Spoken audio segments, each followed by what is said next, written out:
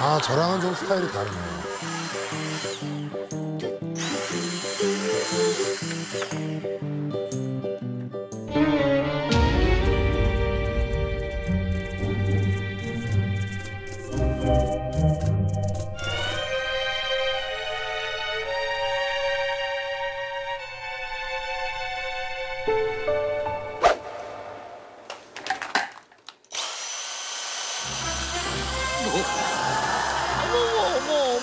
정말 다 해요. 와이카나. 와이카노 다 해요. 매일매일.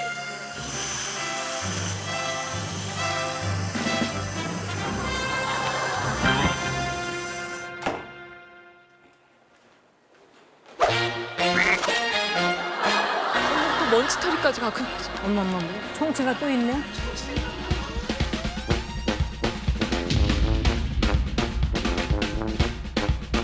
저거 이제 정전기를 이용한 예, 그래서 먼지들을 다 빨아들이는 거죠.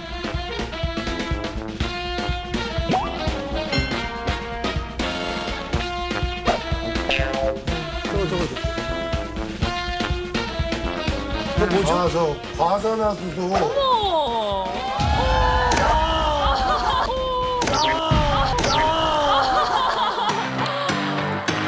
야, 대단하네. 어, 저건 아닌 것 같아요. 병적이네요. 그 일종의 검사를 좀 받아봐야 되겠다. 다 알고 있었는데 과산화수소로 바닥 청소는 그러니까 오 진짜 깜짝 놀랐어요. 그런 분은 처음 본 것 같은데요, 저는. 지영이 어머님. 예. 결벽증이 좀 결벽증이 있다고 전에도 그랬거든요. 근데 정말 저 정도인 줄은 몰랐어요. 그리고 저는 일단 지웅 씨랑 다른 게 지웅 씨 집, 집안에 뭐 엄청나게 많이 뒀잖아요. 저는 그게 싫어서 아무것도 없어요.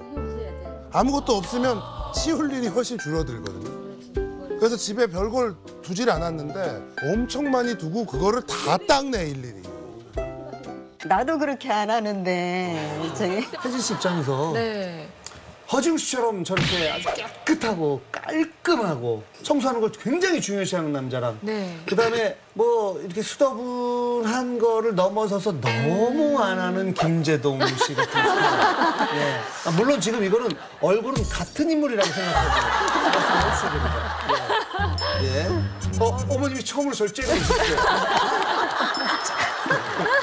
김재동 씨 같은 타입이랑 사는 게 훨씬 편하죠. 어. 그렇지, 네. 그렇지. 사실 저희 신랑도 잘 치우는 성격이 보통 아니에요. 속 터집니까? 네. 차라리 깔끔하고 처리하는 게아 그래요? 낫지. 근데 저는- 저런 사람한테 여자가 시집살이를 하는데. 네. 여자를 그렇게 시키는 게 아니라 자기가 직접 맞아요. 하잖아요. 내가 바로 생각했을 제가 때. 잘 알아요. 직접 하면 괜찮아요. 예, 직접 안 시키면 하니까. 돼요. 예. 어. 근데 쟤는 저 혼자 사는 게 제일 마음 편할 것 같아요.